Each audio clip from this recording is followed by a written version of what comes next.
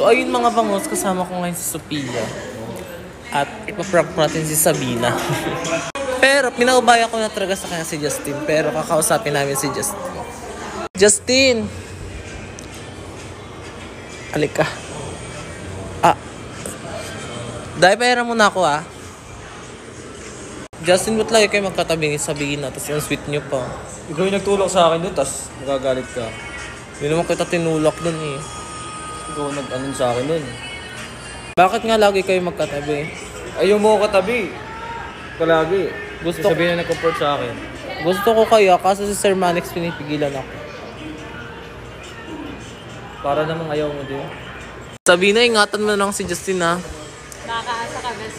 Kasi parang nahuhulog na rin ako sa iba eh. Totoo. Sige, wag kang mag-alala. Ingatan ko si Jess. Ingatan mo na lang. Matututunan ka rin niyang mahalin.